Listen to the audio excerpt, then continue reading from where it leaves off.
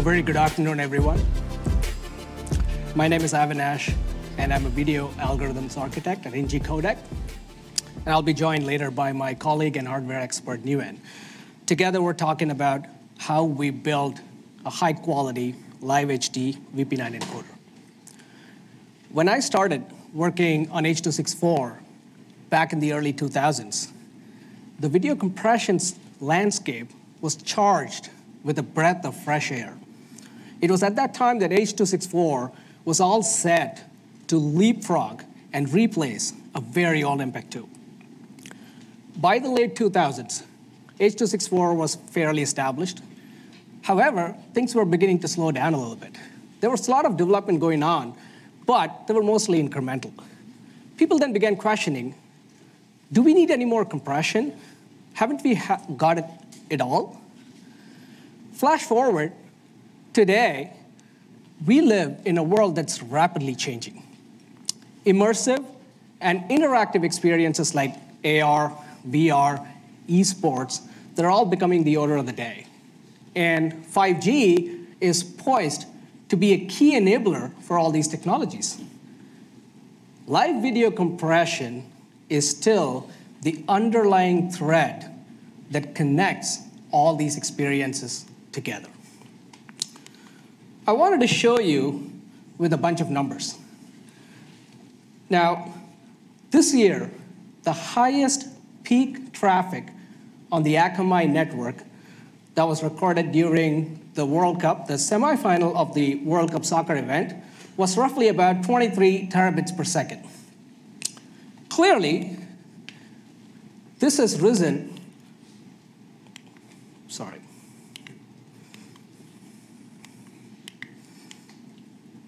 Oops.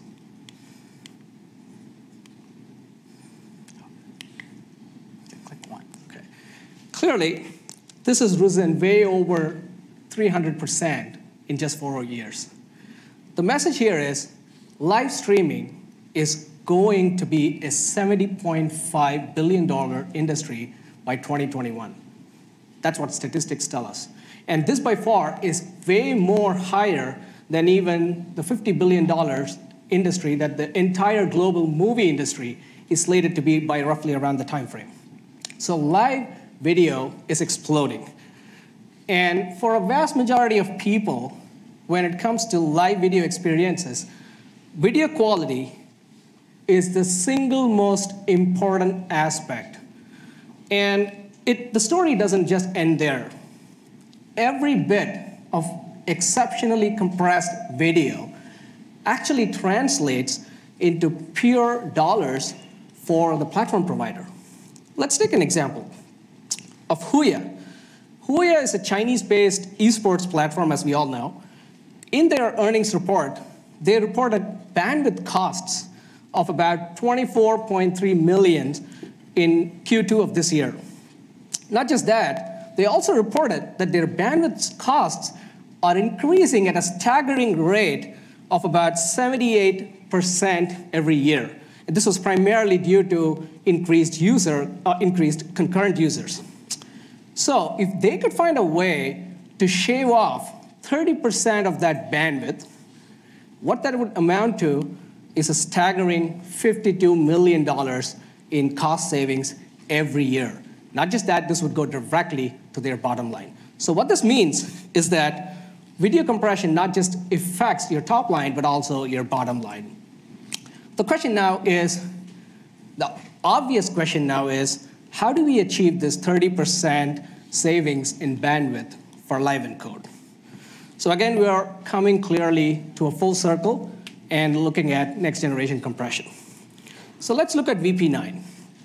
VP9, as we all know, is a royalty-free codec that was developed by Google, primarily targeted at YouTube. And back in 2015, Google reported that they were able to see about 50% bandwidth savings using VP9. Again, in 2016, Netflix, when they deployed VP9, there were reports that they were able to save about 36% in conjunction with some other technologies. Clearly, VP9 has been very established. It has a huge install base. So the question now is, can VP9 offer everything that is offered for the non-real-time scenario to live encoding?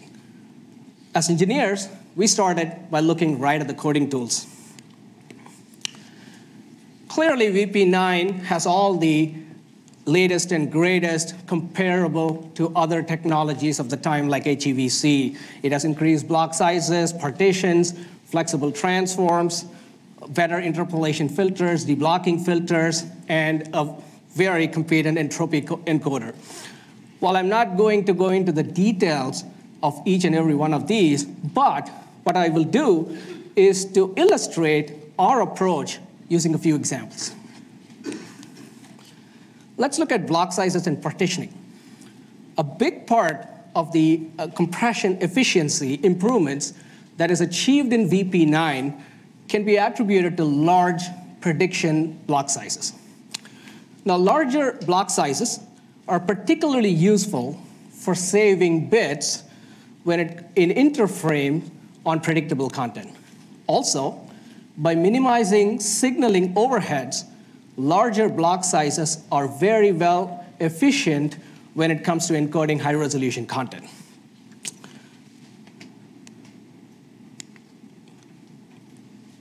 Let's take another example, transforms.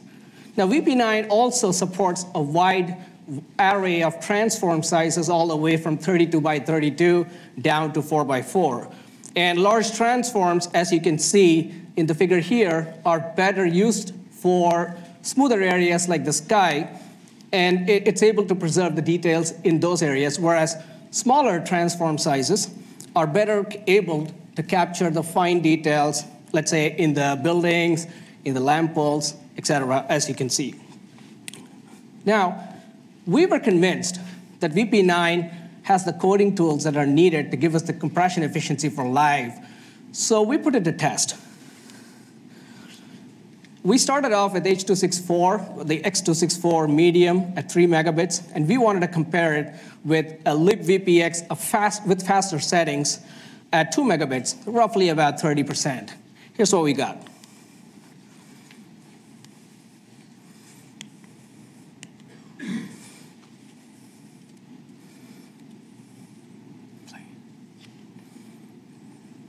Is there a play button here? Oops.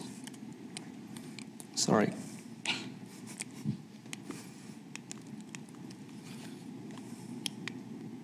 Oops. Last shot.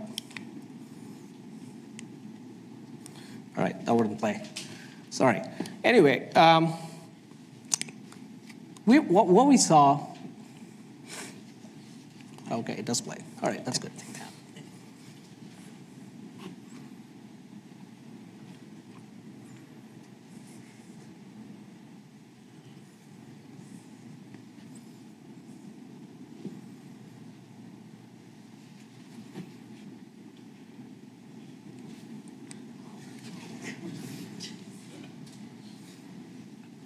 So this is roughly what we saw, right? There, there, was, we were not impressed. For live, clearly, it was not cutting it for us. And while Netflix and YouTube have reported insane gains or compression efficiency for mostly offline encoding, what we saw with VP9 was not that very impressive for our live encoding. So we wanted to create a leapfrog product that performs exceptionally faster and delivers great compression efficiency. That is the NG codec live encoder. Now, how did we get there? As you saw, I mean, we were pretty convinced that the VP9 has all the coding tools uh, that, that the standard offers to get us, help us get there. But the next question was, was it all enough? Obviously not because libVPX has all those coding tools in it as well. So what is missing here?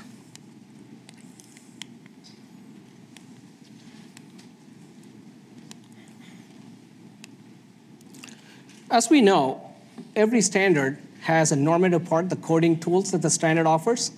Also, the other part of the, or the missing part of this equation is the encoding algorithms, meaning how are these coding tools combined together to effectively get the compression rate where it needs to be. Now, as we saw clearly, VP9 has a lot more combinations. It has a lot of partition sizes, transform sizes, uh, et cetera, you name it. So th what this amounts is a variety of options that the encoder can choose from. And what does that result? A lot of decisions that the encoder has to take for block partitioning, for coding modes, for prediction. So in order to be able to take full advantage of the larger combination, our VP9 encoder had to perform what we call a rate distortion optimized mode decision. It had to be exhaustively sweeping at all the prediction and transform sizes, and this includes RDO optimized mode decisions also across all the inter-candidates and the intra-prediction modes. And so the task for the encoder was really to find the best coding modes amongst all the combinations for every block in every picture so that the distortion, which is obviously compression, is a lossy process. So the distortion that results is minimal, yet we always uh, are under the rate constraint. So that's how the encoder, by using the right coding tools at the right places, still minimizes the distortion and adheres to the bit rate. And this improves the compression efficiency. So that was the first part of the equation. Next up, I'll look at another aspect, rate control. Now, fortunately for us, uh, when it came to rate control, we didn't have to invent everything from scratch. We had a fairly decent rate control in our HEVC at that time. We were able to, since rate control is agnostic, we were able to take that and plug that in right with a few minor tweaks into the VP9 encoder, but it still had to be uh, optimized. For example, one condition that I show here uh, is uh, a comparison with, it, with our encoder with X264, we did have problems like these when we started, which were optimized. So what happens here is a, is a typical scene change problem when the QPs transition uh, from very low to very high all of a sudden, and the buffer levels gets very unsteady. So we solved this problem by integrating tightly the rate control with our uh, pre-analysis tool or look ahead, which kept a buffer of the upcoming frames, and it was able to detect scene changes in advance and gave feedback to the rate control, which then ensured that there was no drastic QP variations, keeping the buffer fairly flat, and what that meant was exceptional visual quality gain. And there's one more example that I wanted to illustrate here. Again, keeping our look ahead, uh, we were able to tune our adaptive quantization. Adaptive quant is mostly a subjective tool uh, that improves your visual experience.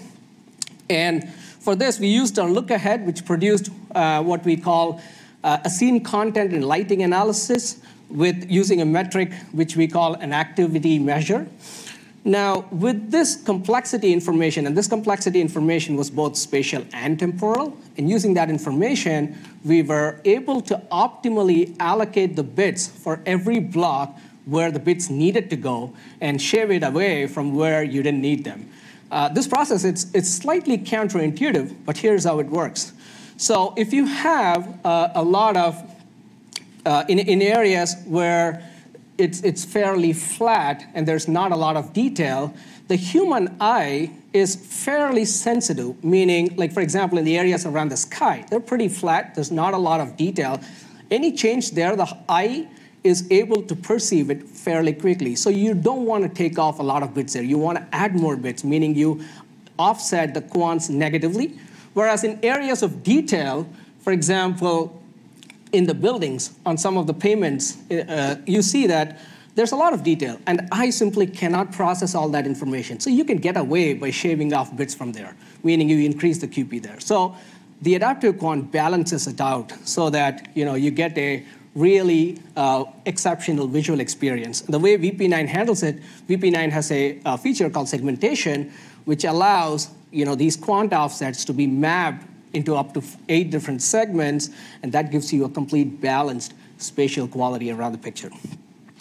So uh, these are some of the techniques that we employed to ensure that we were able to get the quality levels where they needed to be.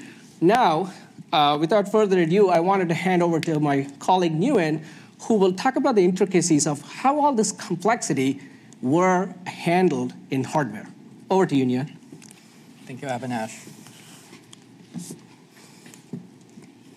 So we talk. We need to talk about the architecture of hardware VP9 encoder. But before that, let's just talk about the encoder itself. So this is the anatomy of the hardware encoder. A good encoder should have all of these uh, feature or blocks. First, we have the pre-processing unit where we extract as much information about the video stream so that we can learn about it, whether there are moving, fast-moving object in it, how detailed is the uh, video frame or whether there will be a scene change coming up. Knowing that feeding into our encoder would make the encoder encode more efficient with the lower bit rate and a higher visual quality. The next block is the motion estimation where we search low and high, finding the best match we can find for our video. The next block is the precision, uh, prediction and the mode selection. So we do prediction from the video surrounding our, our block and also select which mode to use, which partition to use to basically get the best uh, prediction out there to use the lowest bit and get the highest visual quality. The output of that is a prediction that we send to the decoder along with the differences between that prediction and the incoming video. That differences go through transform to get it into the frequency domain where we can quantize away or reduce the precision to save our bit, but yet the, uh, losing some of the high frequency domain where it's not as have a lower effect on the visual quality. The output of that, what we call the quantized coefficient, go through an entropy coding. This is a lossless uh, encoder. Um, and for VP9, we are using the content adaptive uh, binary arithmetic coding. And the output is the bit stream that we can send to the decoder. As in the decoder, all the reversing of that, where we do inverse quantize, inverse transform, to reconstruct something to add it back with our prediction and form back a video frame. That video frame will go through filtering so that we can remove all the blockiness that produced by partitioning and using different quantization um, uh, parameter. The output of the filter is the video frame that the decoder or the user would see. In encoder, we use that as a reference frame to predict and to estimate our upcoming video frame. So there's a lot of computation that going on to make the encoder to encode a video frame. What are the blocks that have high uh, computational uh, logic? So we have the motion estimation where we search multiple reference, references and we also search a weighted average of some of the uh, reference as well. So there's a lot of combination in there. Also, we search a large area trying to find the best uh, match that we can find. The next block is the mode decision, where we have to calculate something where Avinash called the RDO. Um, the, it is involved transform, it involves quantizing in there as well. So let's take one, um, a look at an example of uh, a transform block. I have up here the 32 by 32 DCT transform. That's one of the uh, transformer we have. So we what it is is a two 32 by 32 matrix multiplication. As you all know, the, the number of multiplication that we need to do there is 2 by 32 by 32 by 32. That come out to be 64,000 multiplication and addition that you need to perform for one 32 by 32 DCT transform. Let's say we can do some optimization and using the symmetry of the coefficient and reduce it down to just a fourth of the number of multiplication or so. It's still 16,000 multiplication that you have to do for one DCT transform. With 2,000 of those in a video frame and 60 frame, per second, you have to operate something in the order of 2 trillion multiplication per second. So there's a lot of computation in there, but that is just for the DCT alone. This is an example of what we do in one of our um, encoder, a previous generation encoder. The number of DCT, quantization, the number of set calculation that we have to do, and interpolation so that we can uh, predict in subpixel accuracy. What it comes down, the number that you can see up there is about 500 trillion addition that you have to do, or 77 trillion multiplication that you have to do so that you can encode video frame 1080p uh, 60 um, at, uh, at, at live. So all of this, um, a soft, for a software to do is almost impossible or very hard to do. In fact, the Intel Core i7 true Dhrystone benchmark can only do about 317 trillion instruction per second or so at 300 giga, uh, at 3 gigahertz. The same thing with the uh, AMD Ryzen 7, the 1800X can do about 300 trillion instructions per second or so.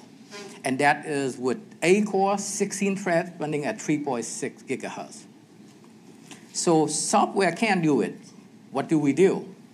Of course, hardware, right?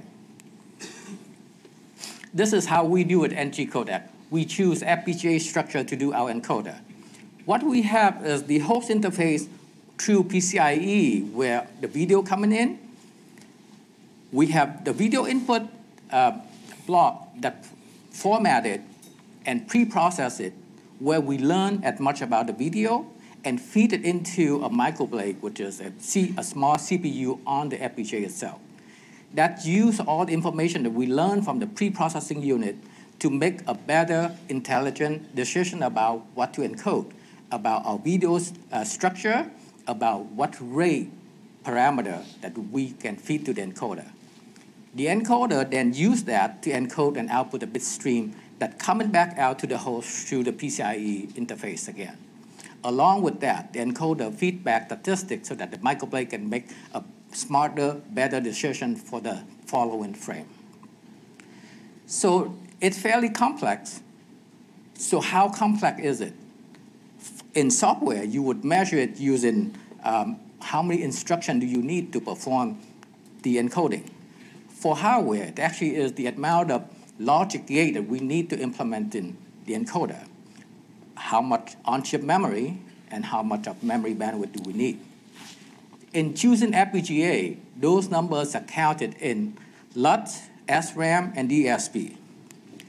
So this is a map of uh, our encoder, and we are using a Xilinx VU9P, and that take about 50% of the resource or so. Our next generation codec that we can optimize and can do two 1080p 60 in real time or one 4K P30 in real time for VP9. So why FPGA? It's flexible, it's readily available, it's out there. A lot of uh, data center has the FPGA uh, plug-in cards in it. We can reuse it. Um, it's powerful enough, and, and when you don't encode, the FPGA can reprogram for other purpose as well. So how do we do it at NG Codec? We start out with a bit accuracy model, we refine it so that we can get a good model. When we're satisfied with that, we're implementing our HLS, which is in C and C++. With verification, making sure that HLS code is matched with bit accuracy model. We then, using a third-party vendor uh, tool, for us, we use Xilinx HLS, Vivado HLS, to compile it or synthesize it into RTL machine. And that is implemented into FPGA. And the output of that is a FPGA image that can do VP9 for 1080p 60 video live. Thanks, Duen. Uh, let's look at uh, how far we have got. I hope the video works this time. Click one more. Oops. All right. So this is the same experiment. Uh, on our left is H.264, and on the right this time is our VP9 encoder. Same 3 megabits versus 2 megabits.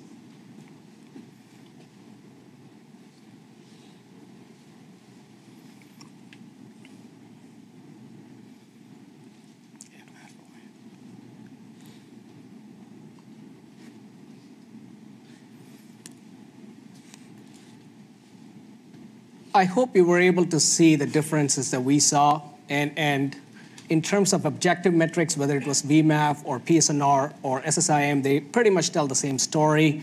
We were able to achieve the compression gains that we were after, or we were pretty close. And our uh, VP9 encoder is also very close, um, slightly below our own uh, HEVC implementation, and we are working to close that gap.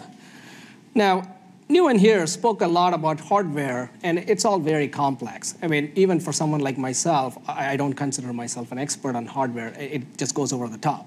So, what, is that, what does that mean for a lot of us here? Uh, I'm just going to quickly wrap up.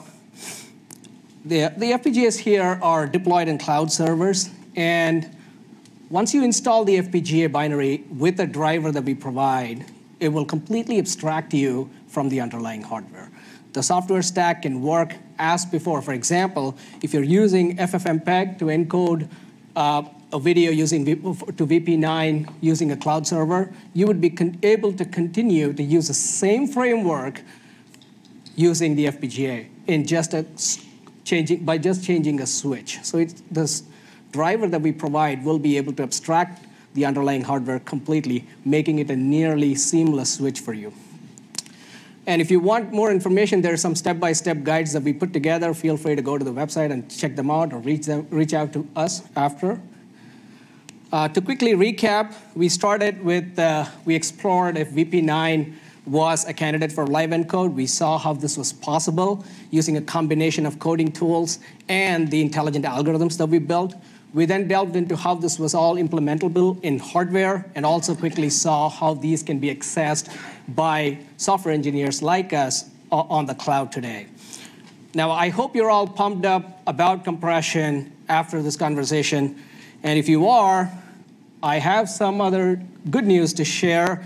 I've been working on a book on compression, primarily dealing with the fundamentals of video compression, making it sound a lot more easier and to make all the complexity uh, in, a, in a better form. Uh, I'm hoping the book will be released later this year. And do sign up on the uh, webpage, and you will be able to get early access and free downloads, uh, free chapter downloads from the book. And also for all DMUX attendees, uh, for all you guys here, and also people watching it online, uh, you would be able to use this, use this code to get a 40% flat off the book. So feel free to reach out to me. Uh, um, and uh, let me know what you think, what you want in that book, et cetera, whatever. Uh, I'm glad. I'm thanking uh, you all for your kind attention, and uh, thanks a lot for the entire video community here, and for DMUX for giving us this opportunity. Thank you.